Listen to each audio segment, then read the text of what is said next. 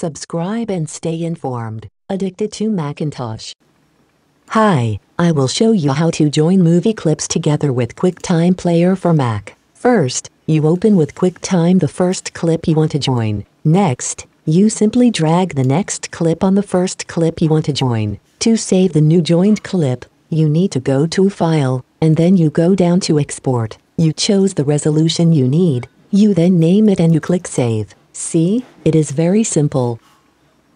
QuickTime on the Mac offers a simple and fast solution, as you may combine two or more clips together using the ultra-lightweight QuickTime Player app instead.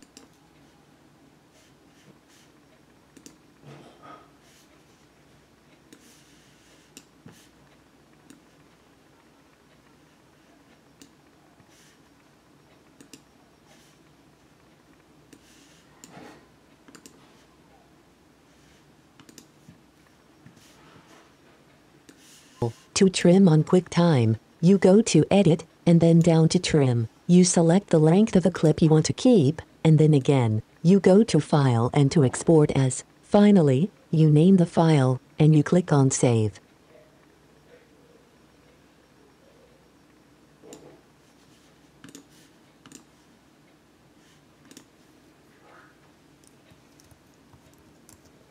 So you can join or trim video clips in Mac QuickTime, but trimming and combining files is about the extent of editing you can do within QuickTime Player. This is by far the simplest approach to combining and merging video files on a Mac, and it's easier to use than iMovie. So if you have simple requirements, try out this simple solution, it works quite well.